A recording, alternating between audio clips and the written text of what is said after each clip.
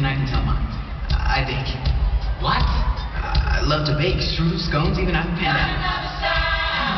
Someday I hope to make the perfect